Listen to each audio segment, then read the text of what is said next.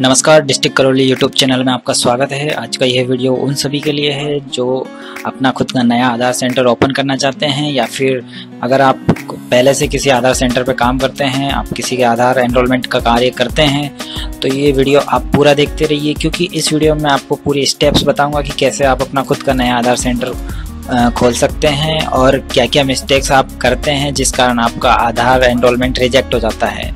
तो ये वीडियो पूरा देखिए। तो जैसा कि आप सभी जानते हैं कि गवर्नमेंट ने जितने भी आधार मशीन थी, प्राइवेट जो चल रही थी, सब पे बैन लगा दिया है, सबको बंद कर दिया गया है। यानी कि गवर्नमेंट ने नियम निकाल दिया है कि बिना गवर्नमेंट परमिशन के आप आधार सेंटर नहीं चला सकते।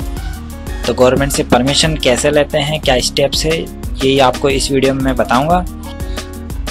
तो गवर्नमेंट से परमिशन लेने के लिए आपको अपना आधार सेंटर किसी सरकारी परिसर में चलाना पड़ेगा, जिससे वहाँ के किसी सरकारी अधिकारी द्वारा आपकी मॉनिटरिंग हो सके, आपका सुपरविजन हो सके।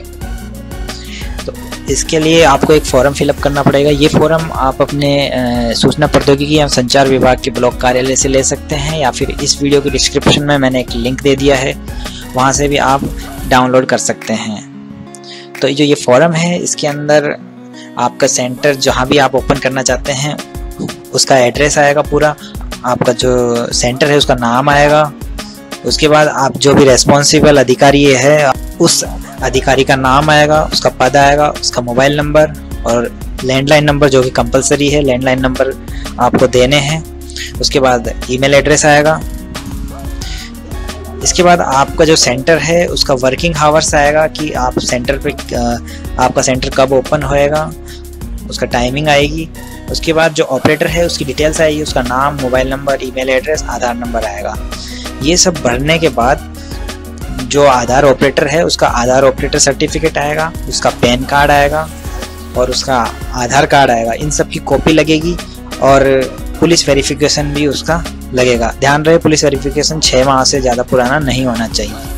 ये सब फॉर्म भर के आपके जो रिक्वायर्ड डॉक्यूमेंट्स है, ये अटैच करके आपको इसके बाद आपको किसी राजपत्रित अधिकारी द्वारा साइन करवा के ये फॉर्म आपको अपने संबंधित ब्लॉक कार्यालय में जमा करवाना है। सूचना प्रौद्योगिकी एवं संचार विभाग के ब्लॉक कार्यालय में जमा करवाना है।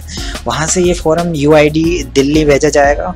वहाँ से यूआईडी की टीम आपकी जो डिटेल्स आपने भरी है, उनका वेरिफिकेशन करेगी और सफलतापूर्वक वेरिफिकेशन हो जाने के बाद आपको परमिशन दी जाएगी कि आप अपना आधार सेंटर इस राजकीय परिसर में आप अपना आधार सेंटर खोल खोल सकते हैं, चला सकते हैं, आधार बना सकते हैं। तो इस प्रकार परमिशन मिलने के बाद अपना आप अपना आधार सेंटर खोल सकते हैं।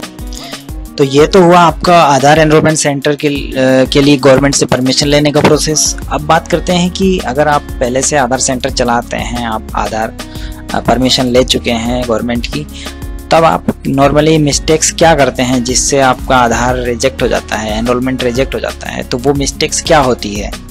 और इससे पहले मैं आपको बता देना चाहता हूँ कि इस वीडियो के डिस्क्रिप्शन में मैंने एक लिंक दिया है, वहाँ से आप अपना आधार बनवाने का जो आवेदन फॉर्म है, वो डाउनलोड कर सकते हैं और उस फॉर्म के लास्ट में जो डॉक्यूमेंट्स हैं, जो एड्रेस प्रूफ के लिए डॉक्यूमेंट्स है वो दे रखे हैं कि आप कौन कौन से डॉक्यूमेंट एड्रेस प्रूफ के लगा, के लिए लगा सकते हैं और कौन से डॉक्यूमेंट्स आप अपने आइडेंटिटी प्रूफ के लिए लगा सकते हैं कौन से डॉक्यूमेंट्स आप रिलेशन प्रूफ के लिए लगा सकते हैं कौन से डॉक्यूमेंट्स आप अपने एड्रेस प्रूफ के लिए लगा सकते हैं। तो ये सब उस फॉर्म के अंदर लास्ट में है। आप मेरे इस वीडियो के डिस्क्रिप्शन में लिंक है, वहाँ से डाउनलोड करके देख सकते हैं।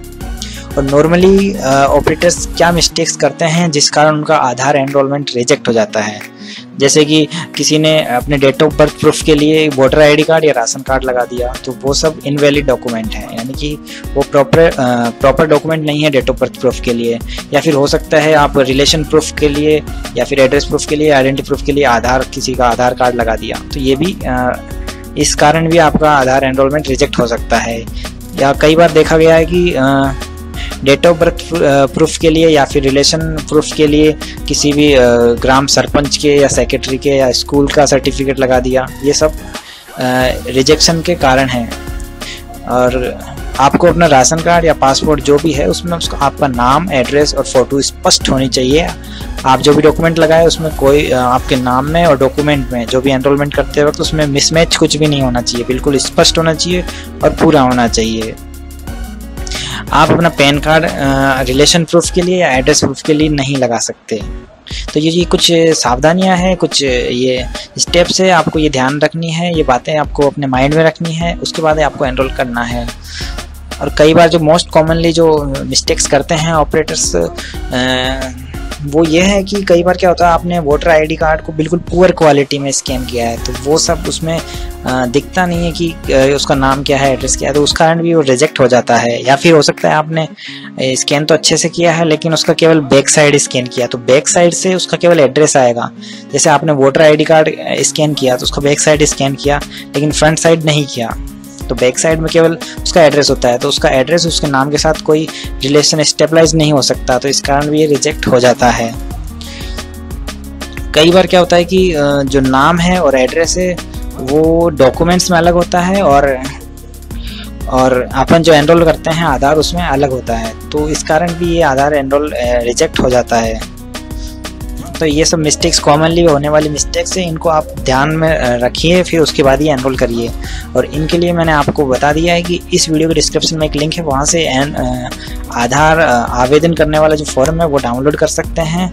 वहाँ उस फॉर्म के लास्ट में दिया हुआ है कि आप एड्रेस प्रूफ के लिए कौन से डॉक्यूमेंट लगा सकते हैं आइडेंटिटी प्रूफ के लिए कौन से डॉक्यूमेंट्स प्रूफ लगा सकते हैं, और एड्रेस प्रूफ के लिए कौन से रिलेशन प्रूफ के लिए कौन से। तो ये सब आप वहाँ से देख सकते हैं।